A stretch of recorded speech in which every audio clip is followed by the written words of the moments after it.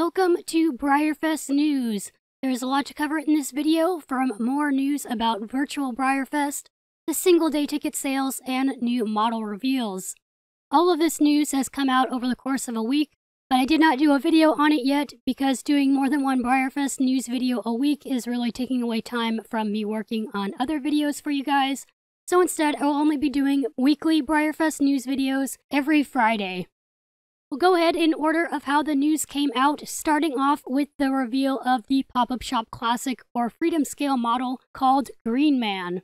Done on Melanie Miller's walking draft horse, mold number 668, this mossy green colored model painted with a splatter technique features a horned green man on his barrel, a nod to the ancient Celtic god Cernunnos or something, I'm probably going to not be able to pronounce that right, with a face made of lush oak leaves and surrounded by flittering fairies.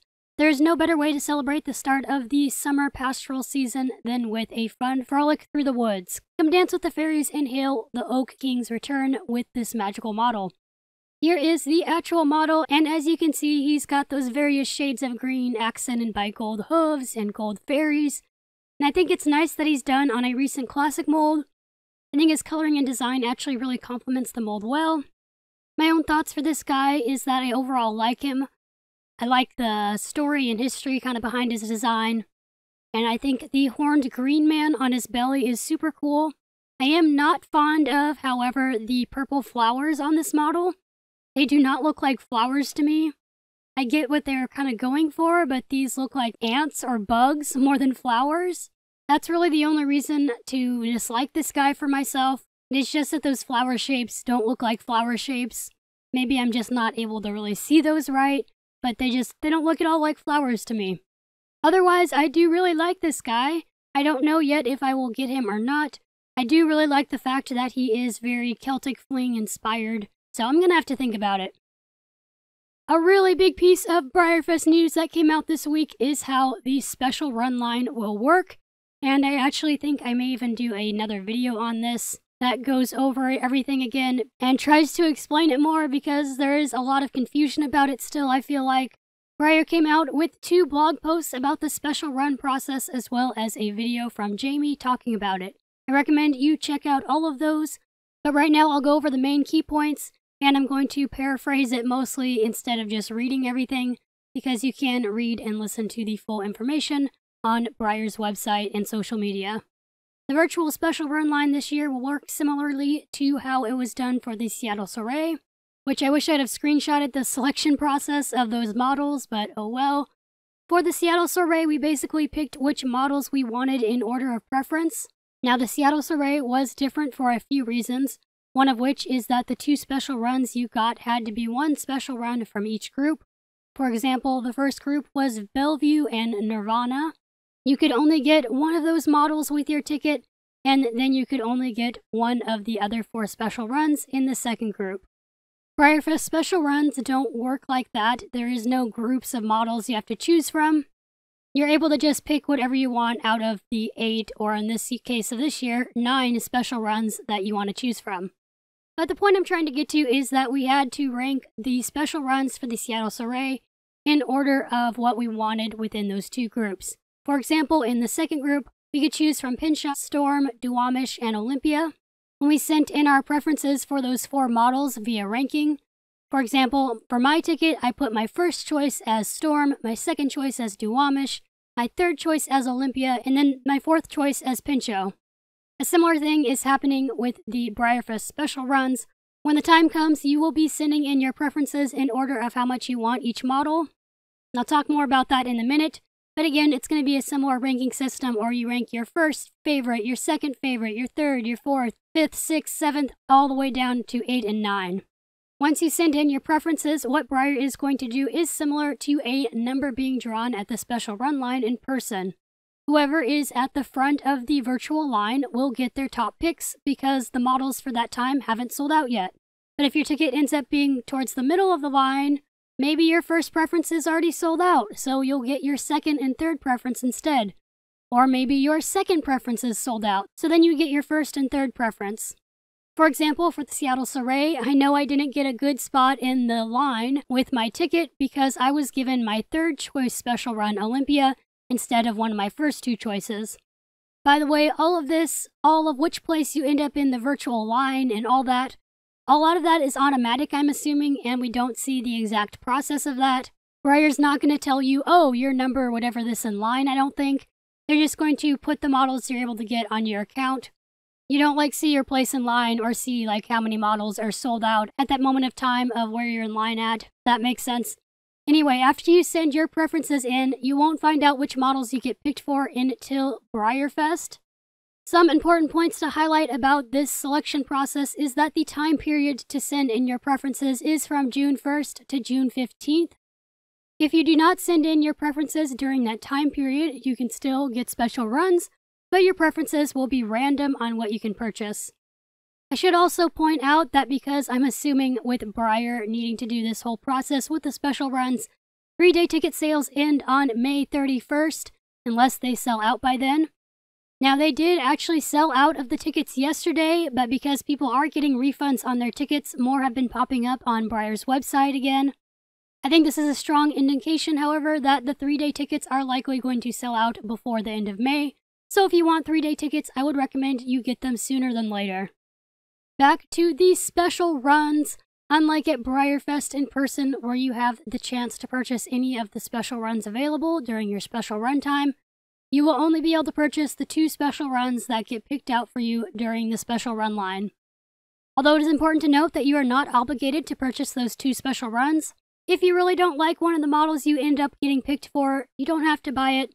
For example, if you got picked for your 7th or 8th choice and you weren't planning on buying that model, then you don't have to buy it. You can just buy the other one you got picked for, or you don't have to buy either of them if you don't want either of them either. Another very important point is that you do not have to be online and purchase your special runs during the special run time.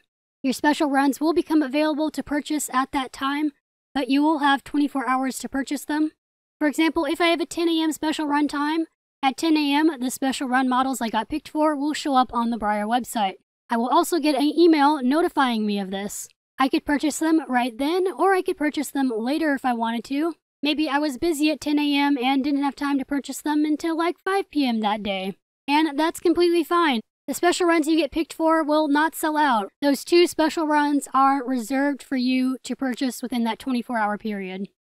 I know there is a couple little frustrating aspects of this, specifically the idea of not being able to pick from a variety of special runs during the actual BreyerFest. But this does seem like the best system that Breyer could possibly come up with that is still fair for everyone, and I think overall it's going to work well. I honestly think this is a lot better than a possible alternative of just making it a first come first serve basis, or trying to digitally have everybody in the special run line online at once and figuring out how to actually order them, and then people trying to buy and order. Oh my gosh, it would take forever. I think those other options would just cause a lot more headaches and cause more upset fans. This method is a lot more fair. Of course, they're not going to be able to exactly replicate BreyerFest experience of purchasing special runs, but this is a pretty good alternative. Right after Breyer released this first batch of news about the special run line, there was a lot of uproar and concerns about the preference system for people that have multiple tickets. So the next day, Breyer addressed that, explaining that they will be doing their best with this situation as well. They will be offering two different ways to submit your special run preferences. One way is to send in a master list, and another way is to choose for each individual ticket. The individual ticket is pretty straightforward.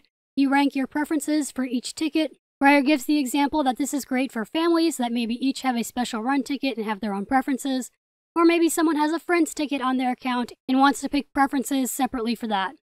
But the other method, the master list method, is going to be a situation where you send in a master list of your preferences across all your special run tickets, and Breyer will try their best to accommodate that so that you don't end up with duplicate special runs. Granted, you still could end up with duplicates, and they warn that they can't guarantee you'll get all the special runs you want or anything like that, but they are going to try their best. I'm going to go ahead and actually read this part that they put on the blog here to make it even more clear. This option will go down your list and select the highest ranked model available for each of your ticket times. If you are selected for preference 1 and 2 on your first time slot, the next two available options will be selected for your next time slot. You may still receive a duplicate model, your highest available previously received preference, if none of your remaining preferences are available during that time slot. it is not guaranteed that you will receive one of each of the special runs. Now, I know another concern about this, which has not been addressed by Breyer yet, I'm sure it will be by the time they send out the email to get our preferences, is what if you want duplicates of a certain model, which in this case for most people is going to be the surprise model. We don't know yet if we can tell Breyer on these master lists, hey, this is my number one preference and I want two of them, or how that will work. I'm sure within this next month, Breyer will address that, so don't panic, don't stress out about it. I feel like I need to say that because some people appear to be stressing out about these different aspects of Virtual Breyerfest. Don't stress out, everyone! In fact, this process is kind of less stressful than actual Breyerfest in some ways. You don't have to worry about being at the special run line at a specific time. You don't have to make too many dire decisions at the special run line. Like if your top two or three choices sell out and you're not sure which model is your fourth choice because you didn't think about that, well now you don't have to worry as much because all that stuff has been already figured out ahead of time. You've already picked out what your fourth and fifth special run choices are. I hope this is all making sense. Maybe I will do a separate video going over this information again when we know even finer details of the process, but there is the overall gist of what we know so far. Let's move on to a different Breyerfest topic. The virtual Breyerfest 5K, lots of information came out about that, about how you can participate. You can still do the 5K at your home and send Breyer pictures of you in your Celtic theme 5K outfit. You also get your race medal hopefully by that day so you can have it during Breyerfest Sunday. I will link the blog post with all the details on that. Remember that the proceeds go to a good cause, which is Old Friends, the racehorse retirement facility. Next piece of news is the virtual model horse shows. The Open Show is a virtual photo show this year. Breakables Live is also going to be virtual. The Resin Futurity Show is canceled for this year, but I imagine it'll come back for 2021. The Children's and Youth Show is also canceled this year, but they are offering something else which sounds awesome. Instead of a show, they are doing a free live model horse showing clinic on Saturday, July 11th from 8 a.m. to 3 p.m.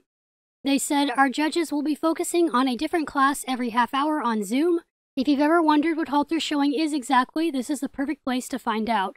Participants can show the judges their models and get live feedback or listen in to the judge's explanation of what they want to see in each class. The schedule will be posted soon so you can get your questions and models ready. Participants in this virtual experience will be required to register to receive the Zoom link. More information on that process will be released soon. Those who registered for the 2020 Breyerfest Youth and Children's shows will be automatically rolled over to Breyerfest 2021. If you won't be able to participate in 2021, you are welcome to contact Breyer Customer Service for a refund on your entry.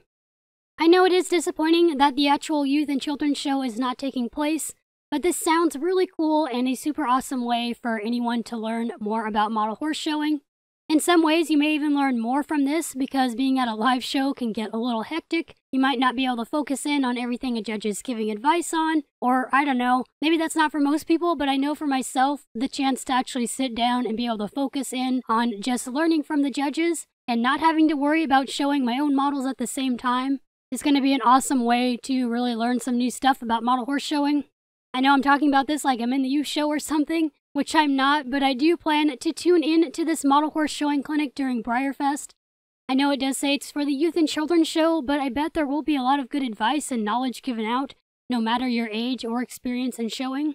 So yeah, that sounds so awesome and I'm really looking forward to it. And then let me go over more about the virtual open show, which I actually signed up for by the way.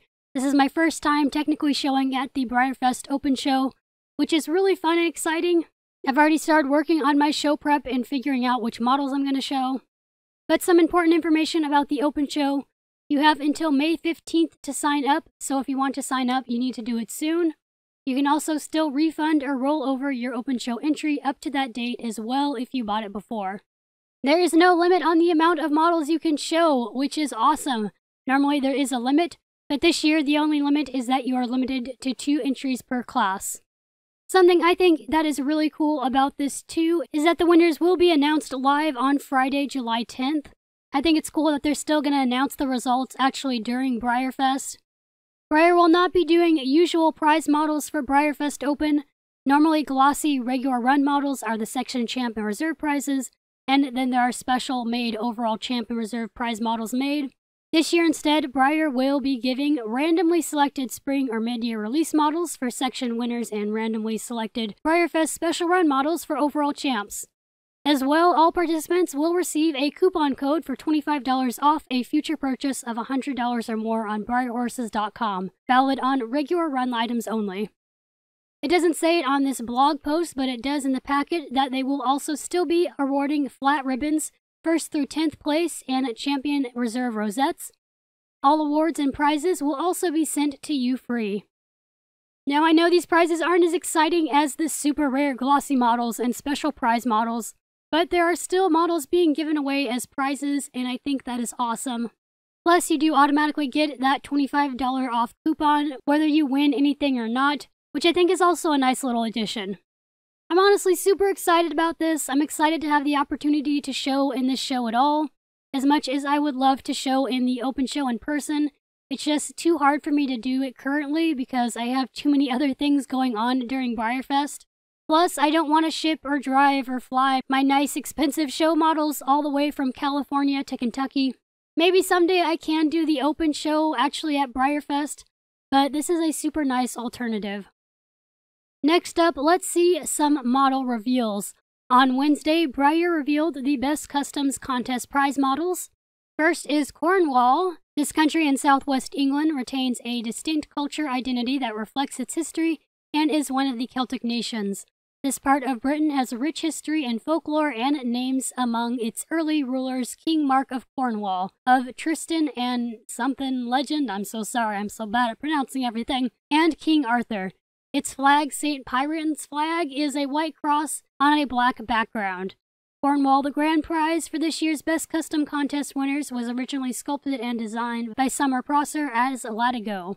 He has been reimagined in a stunning shaded black blanket Appaloosa using the same pattern as his first release in the Premier Club back in 2013, with map spots in his blanket, detailed striped hooves, and silver shoes. Here is Cornwall, and as it said, it's the same pattern as Latigo, but he is a shaded black instead of bay. There are only six made of each of these models, by the way, which obviously makes them super rare and expensive. This guy is pretty cool looking, but I will admit I'm not crazy about him. Probably because I wasn't a huge fan of the original Latigo. I don't even know why, I'm just not that crazy on him. And I'm not crazy about this guy either, at least not compared to last year's model, Leap of Faith, for the best custom contest, who was that black Bristol. Now that one I was crazy over, he was so cool looking. This guy is cool, but not necessarily a model I wish I owned. Then there is Breton. This is the language of the people of Brittany, a cultural region in the west of France that was inhabited by Celtic tribes, the same tribe of Britons that ultimately peopled the south coast of the British Isles. The state's flag, called Gwenn-ha-du in Breton, is composed of nine horizontal, alternating black and white stripes, and an ermine canton that is representative of the former coat of arms of Brittany. This year's runner-up prize for Best Customs finalists has been done on our lovely Lipizzaner mold, sculpted by Kelly Seeley. He may be small in stature, but he makes quite the impression, finished in a shaded black Overo. First released in 2018 as our Premier Club bonus stablemate model, this little guy will make a lovely addition to your mini herd. Now, this guy I actually like more than Cornwall. He is super cute! The pattern and color really complements him well, I don't know if there is even much more to say than that. He's very cute, and good luck to everyone entering the Best Customs contest. Also on Wednesday, the BreyerFest single day tickets went on sale. They are $17 each or $75 for the 4 pack. However, the 4 pack is actually already sold out. It's sold out within 24 hours. I am surprised that the 4 pack was actually more than buying four individual single day tickets, but I guess it was a guarantee that you got all four models, so I can see why it sold out. I thought about buying a four pack and I did not buy one soon enough, unfortunately. But that's ultimately okay. I think I might still order a single day ticket or two and see what stablemates I end up with, just because surprises are still fun. Breyer showed a sneak peek on Thursday, which I'll be showing in more detail in a minute, but they also pointed out that they are frequently updating their BreyerFest FAQ page I went to check it out and saw an FAQ that I either missed in a previous blog post or it wasn't posted to the BreyerFest blog. I'm not sure. But it's something that's pretty noteworthy, so I'm going to go ahead and go over it now. The question is, how can I buy this year's store specials or fling pop-up souvenir shop models?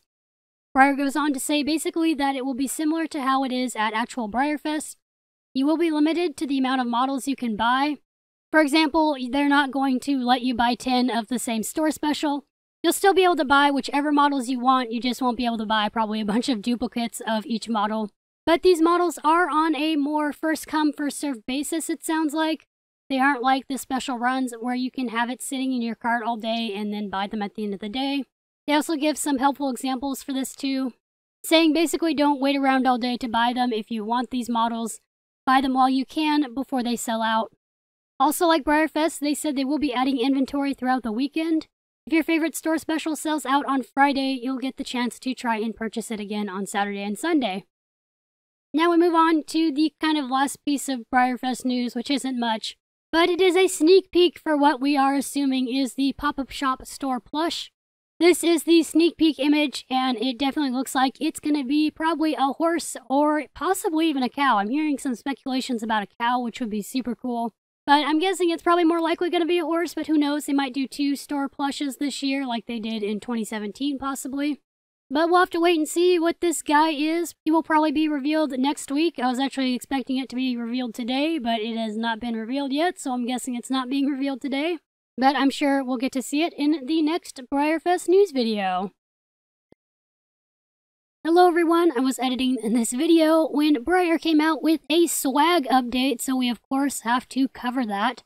Breyer has revealed the shirts for the Fling souvenir shop. They said, We are so excited for this year's Fling souvenir shop swag selection.